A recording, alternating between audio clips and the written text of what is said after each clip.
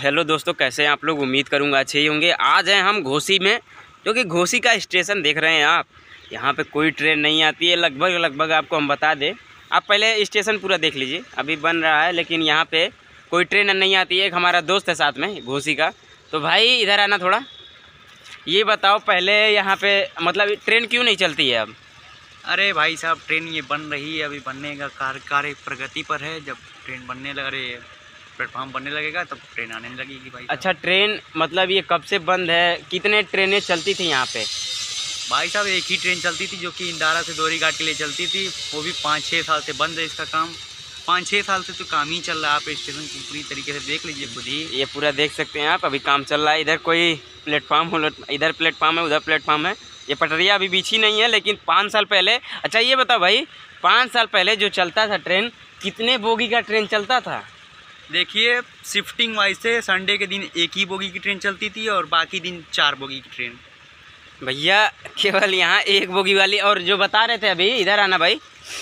ये बता रहे थे बोगी मतलब जो जो ट्रेन चलाता था जो पायलट था हम्म। वो गेट बंद करता था। ऐसा भी है क्या? हाँ भाई ऐसा भी है। कि उतर के जाए फिर जो फाटक है वहाँ पे सामने हम देख सकते हैं आप उधर एक रेलवे क्रॉसिंग है। तो उतर के वो क्रॉसिंग बंद करता था। इसके बाद बैठता था ट्रेन में, फिर सवारी भरता था, इसके बाद जाता था। आप देख सकते हैं इधर।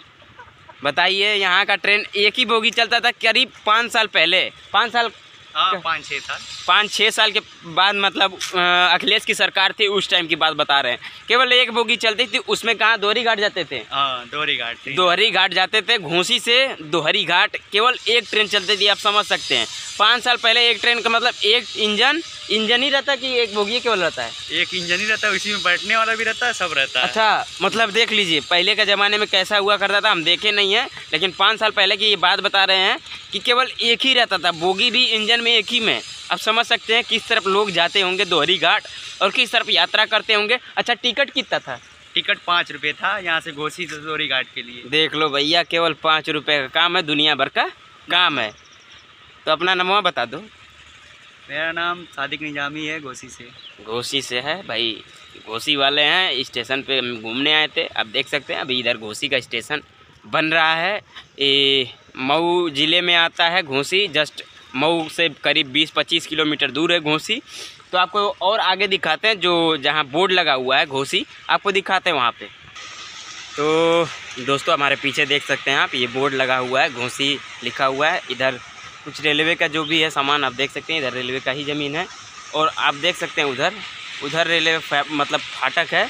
वहाँ से जो ड्राइवर था, आता था और उतर के खुद फाटक बंद करता था। इसके बाद वो अपना ट्रेन जो था, अपना लेके जाता था, आप पूरा देख सकते हैं, ये घोसी लिखा हुआ है। G H O S I Hindi में भी लिखा हुआ है, घोसी, आप पूरा देख सकते हैं।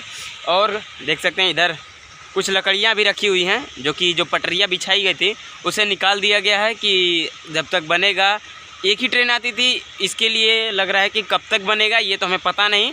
तो चलिए, यहीं वीडियो समाप्त करते हैं। वीडियो कैसा लगा आप लोग कमेंट करके ज़रूर बताइएगा।